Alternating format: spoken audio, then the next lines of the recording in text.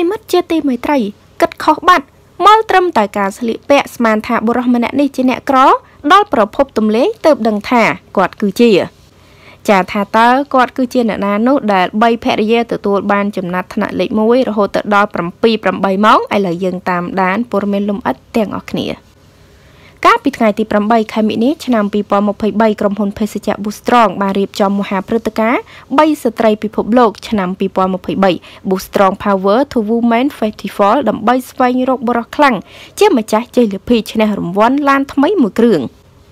ព្រឹត្តិការណ៍ប្រកួតប្រជែងបុរសលើក3ស្ត្រីបានយូរបំផុត3ដោយសេចក្តីពេញចិត្ត3ដោយសេចក្តីស្រឡាញ់ពេញបេះដូងនេះបានធ្វើឡើងនៅមុខមហោស្រពទីក្រុងកោះពេជ្រក្រោយការប្រកួតប្រជែងដ៏ស្វិតស្វាញចុងក្រោយសល់2គូប៉ុណ្ណោះគឺកីឡាករព្រំសំណាងនិងគូស្នេហ៍មកពីខេត្តតាកែវពីគូនេះប្រើពេលរហូតទៅដល់8ម៉ោងទើបរកឃើញអ្នកបានលេខ1គឺបានទៅលើគូស្នេហ៍មកពីខេត្តតាកែវខណៈគូព្រំសំណាងបានត្រឹមលេខ2ដោយសារខុសលក្ខណៈបច្ចេកទេស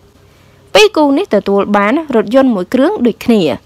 បរិះសាមញ្ញម្នាក់ដែលមិនធ្លាប់ទទួលបានការវឹកហាត់ហើយអាចផ្ដួលកីឡាករព្រំសំណាងបាននេះពិតជាធ្វើឲ្យមហាជនមានការចាប់អារម្មណ៍ខ្លាំងណាស់ជាមួយនឹងការចូលរួមអបអរសាទរប្រងព្រាតនោះក្រោយឈ្នះការប្រកួតទៅដឹងថាបុរសមកពីខេត្តតាកែវរូបនេះគឺជាអតីតព្រះសង្ឃសោះ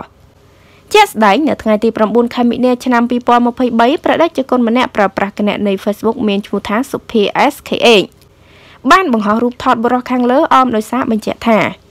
យកប្តីអន្តិតគឺស្មោះនឹងលះបង់អញ្ចឹងញោម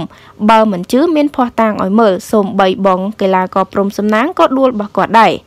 ធ្លាប់ជាមិត្តរួមថ្នាក់ជាមួយគ្នានៅសាលាអង់គ្លេសអន្តរជាតិអាត់ឡង់តានៅផ្សារកាប់គោអបអរសាទរបងប្រុសអន្តិតយិនសំអល់ដែលទទួលបានជ័យជំនះឡានមួយគ្រឿងក្នុងការប្រកួត3ស្ត្រីពីក្រុមហ៊ុន Boostrong 3តាំងពីម៉ោង5ល្ងាចដល់ម៉ោង2ភ្លឺអ្វីដែលនឹកស្មានមកដល់នោះតាមរយៈការស្លៀកពាក់ត្រូវបានអ្នកលេងបណ្ដាញសង្គមមួយចំនួនយល់ថាបុរសខាងលើមិនមែនជាអ្នកមានជីវភាពធូរធារឬធ្វើការធំដុំអ្វីនោះទេ តែប្រភពមួយបានទម្លាយឲ្យដឹងថាគាត់មានតួនាទីជាប្រធានការិយាល័យសេដ្ឋកិច្ចនៅថ្ងៃទី9ខែមិនិនាឆ្នាំ2023ពេករដ្ឋបាលខណ្ឌទួលគោកបានបង្ហោះរូបថតបរិះខាងលើជាមួយនឹងការចូលរួមអបអរសាទរយ៉ាងដូចនេះថា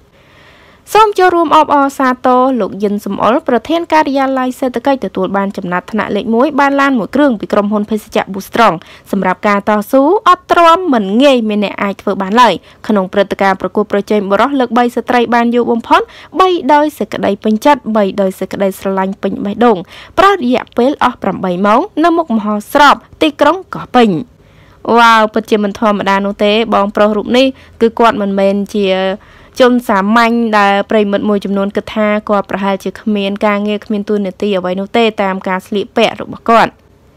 ប៉ុន្តែតាមពិតគឺការគិតមួយចំនួនគឺបានខុសហើយគឺគាត់គឺជាប្រធានការិយាល័យសេដ្ឋកិច្ចផងដែរ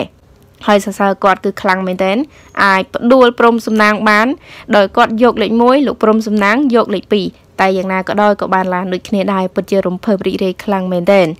ចាអរគុណច្រើនប្រិមត្តទាំងអស់គ្នាតេតងនឹងព័ត៌មាននេះដែរក៏សូមបញ្ចប់តែត្រឹមនេះសូមអរគុណសូមគោរពលា